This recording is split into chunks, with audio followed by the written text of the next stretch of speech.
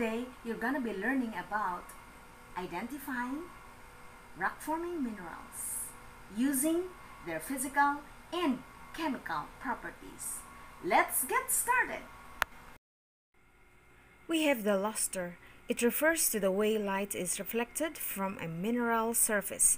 An example of this is the pyrite luster. There are two main types of luster, the metallic and non-metallic.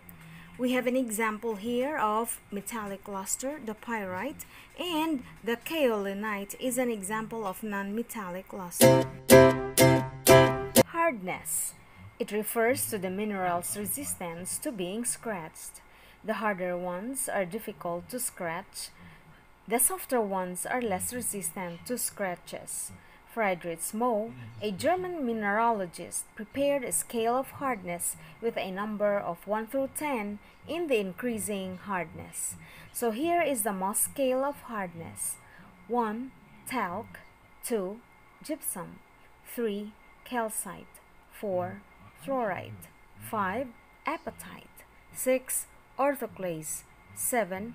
Quartz 8. Topaz 9. Corundum and 10 diamond. The next property is streak. It refers to the color of the powdered mineral. The sample is rubbed across a piece of unglazed porcelain or streak plate. Alright, the next physical property is cleavage, the tendency of minerals to break along planes of weak bonding. It is described by the number of planes exhibit and the angles at which they meet. You can see here the sample rock. It is a type of feldspar called orthoclase. You can see planes of weak bonding. Soon, this mineral will break and uh, this is called cleavage. The next physical property is fracture. Minerals that do not exhibit cleavage are said to fracture when broken. Some break like glass, some into splinters or fiber. In the sample here we have feldspar. If you will get a hammer and then hit this rock, this rock will break like a glass or probably uh, into splinters or fibers and that is the property of a mineral called fracture. The next physical property is the color. What is it? Of course, um, it, it is just whatever you can see in your naked eye. But sometimes this physical property is um, tricky. It's because some minerals change their color when they are in powdered form. Now, there are two minerals here. One is azurite, the deep blue color mineral. It's okay for this type of mineral because it will not change its color. It's always deep blue. The other one is sulfur. It's always yellow in color.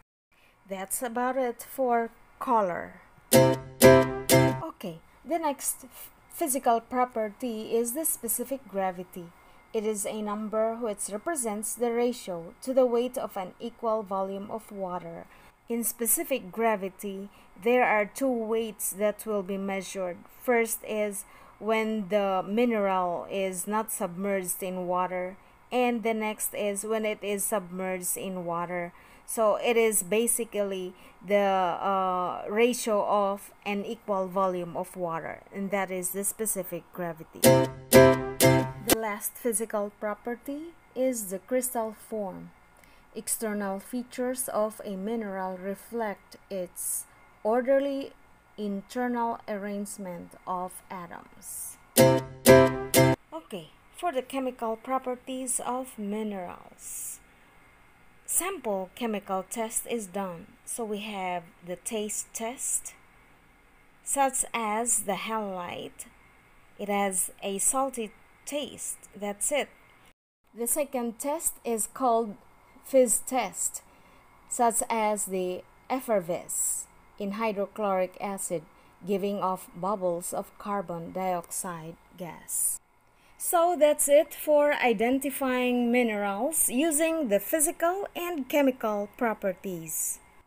Thanks for watching.